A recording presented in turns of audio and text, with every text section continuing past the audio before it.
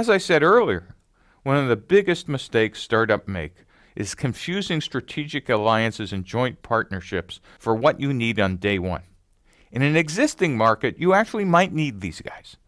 But in a resegment and certainly a new market, these are not needed for early evangelists. And so you need to think through when do I need joint partnerships and when will I be hitting mainstream customers? Because remember, most of these partnerships tend to fail.